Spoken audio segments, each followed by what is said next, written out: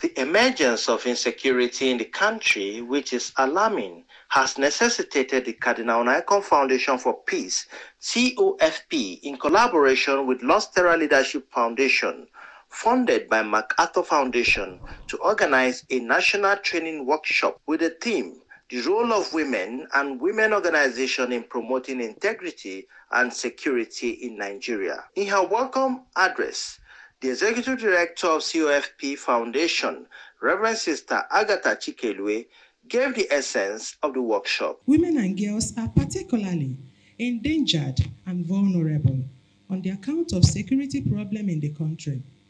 They bear the brunt of violent extremism in Nigeria as they have been kidnapped, raped, battered, subjected to sexual slavery, and sometimes used as suicide bombers.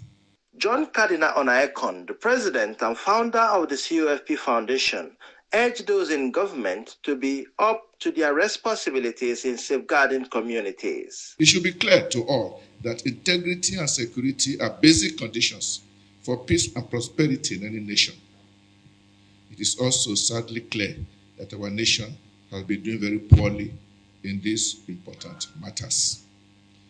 Although every citizen, every citizen has some level of responsibility in this regard, there is no doubt that government at all levels has a major and special responsibility to create the enabling environment for citizens to live honest and secure lives the Executive Director of Lux Terra Leadership Foundation, Reverend Father George Ehusani, and others agreed that corruption is the root cause of insecurity in the country. It is widely believed that corruption is the single most critical factor that explains how such a richly endowed country like Nigeria could be so economically stagnated and rendered so volatile with widespread political instability and now social insecurity from north to south and east to west.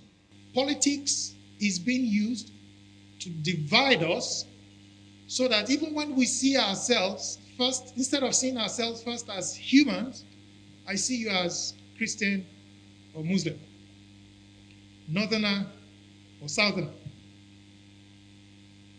male or female.